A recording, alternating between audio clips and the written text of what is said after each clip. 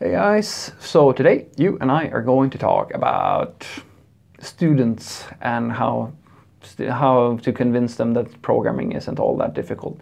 So let's get into it. Uh, the question in question was, Fredrik, how do I convince my students or how do I talk to students and explain to them that, you know, programming isn't as hard as they think it is? So I think that this is going to be tricky for you. Uh, one part is because there's a, maybe an assumption on our side, like if we're going to be the teachers, and uh, that assumption is basically that maybe it is exactly as hard as they think. Maybe it is that difficult. It depends on what, what you know, how do we define it, right?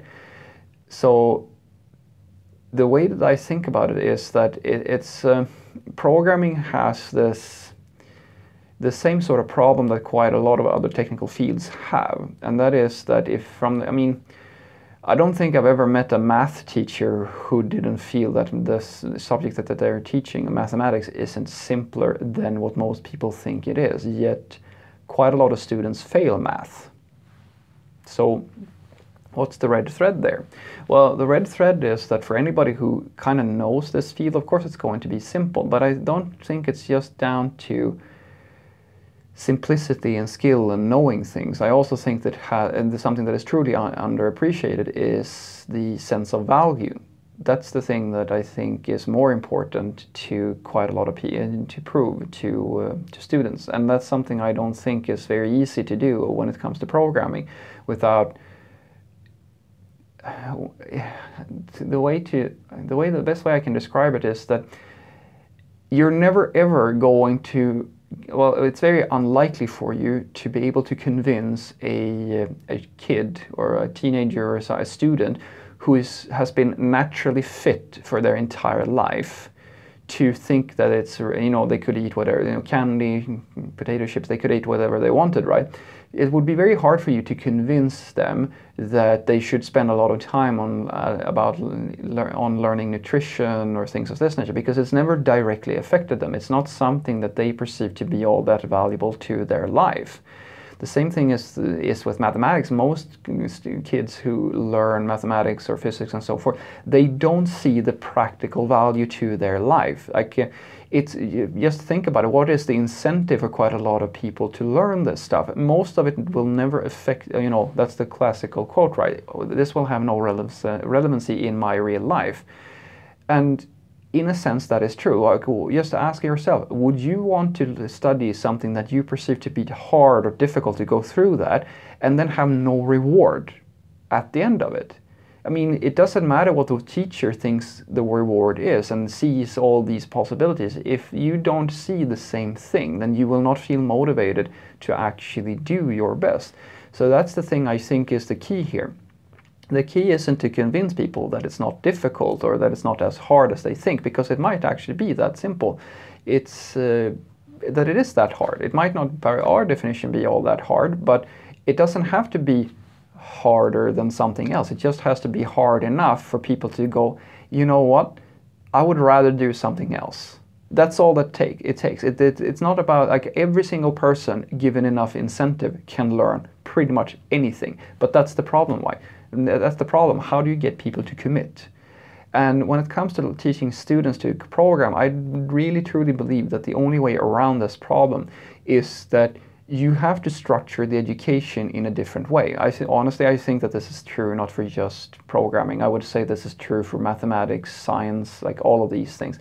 You have to make it interesting. You have to make it. Uh, you we have to structure our education in such a way that people can see the actual practical application of what they're learning. If I teach a kid, I can mean, teaching a kid how to speak a language that I mean their native language that is useful. Like being able to communicate is useful.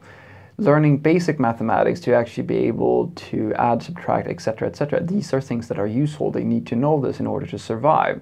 But programming is frankly not it's not as easy to prove this value if you're just approaching it from which is usually the case for quite a lot of uh, schools.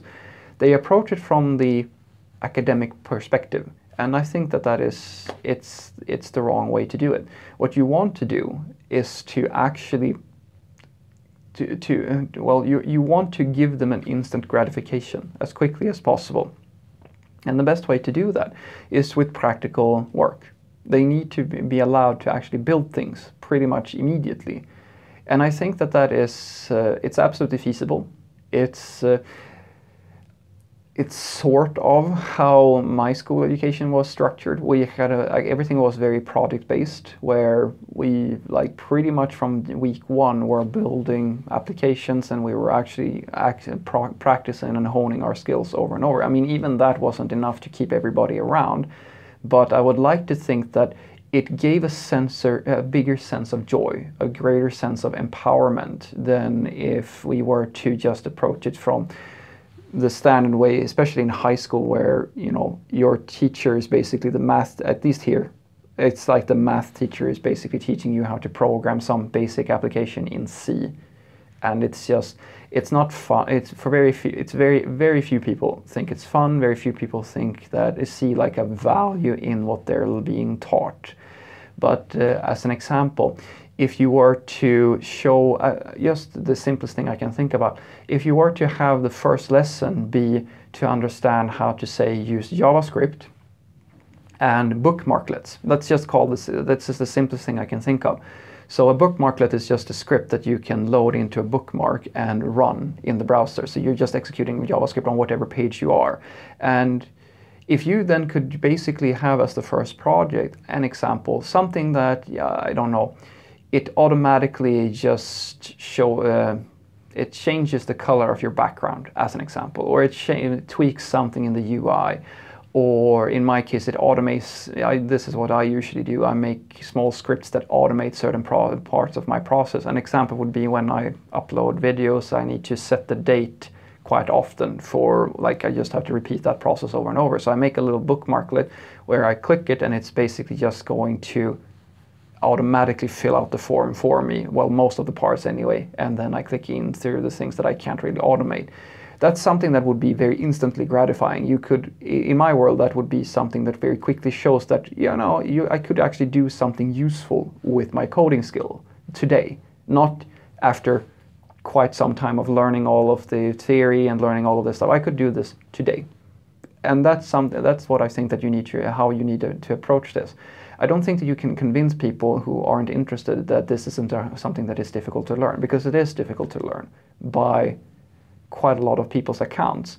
But what you can do is to show people that it's actually worth it. It's not that it's it's uh, the reward is so great that it's actually not that. You know, it's it's the carrot is worth it. There's a carrot, and that carrot is uh, that you will be able to pretty much do useful things uh, with programming.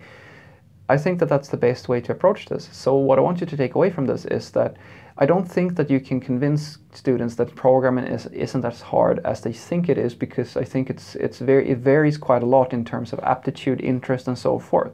But what you can do is to give people an introduction to programming where you give the, give them that sensation that oh okay this this was kind of cool. Maybe I should give it a try because that's the thing. That's the thing that is important. If you can get somebody from complete disinterest to, I want to try this, to give them that curiosity about something or just to give them a little bit of incentive so they want to try it of their own volition, that's I think uh, I th- really do think is the way to do that is to people is to get more people into programming and I think you do that the best in, in the best fashion by quick uh, by creating something where there's a very quick return on investment. Some, well, not instant gratification, but very similar to instant gratification. And honestly, I think that the easiest way to do that is to just like think about what they do themselves in pretty much every day when they're using websites, when they're doing certain things is there something we can capture about things that they do, like social media, when they're doing all of these different things?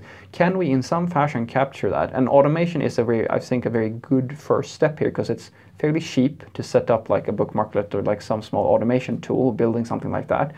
And it is something that will be directly useful to them. They will understand immediately that, oh yeah, shit, I'm clicking through all of these things and I'm scrolling all of these things here it would be, I mean, if you just create something small that they themselves built with their own two hands that literally makes that process a little bit quicker for them, immediately you realize, oh, there's a value here. And I think that's the way to solve this sort of problem. Have a great day.